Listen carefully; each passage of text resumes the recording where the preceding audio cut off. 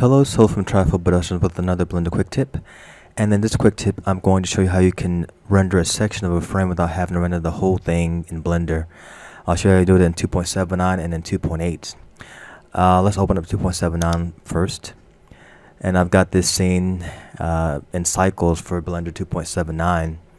And what you have to do to render just one section of the frame is that you press Control B.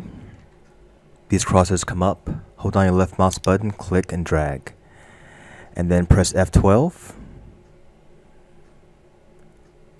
And that's pretty much it. It renders that that section that you just uh, highlighted uh, at, with those crosshairs.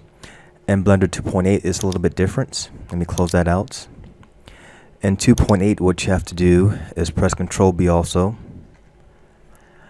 Same process, hold down your left mouse button, click and drag over the area you want to have rendered and it'll be indicated by this red um, I call it an ant trail.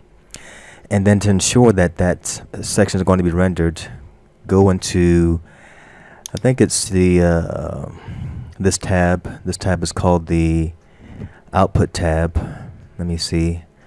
And make sure that render region is checked. And once you've done that press F12 again. And that's the same result so this is just a really quick tip on how you can render a section of a frame in Blender if you want to check your work before you actually do the final render. Remember just control B, click and drag left mouse button and then you're done. And that's my quick tip for today. Thank you guys for watching. Really appreciate you guys. Thank you guys who, have subscribed and those who will subscribe in the future. Really appreciate appreciate you guys thank you once again.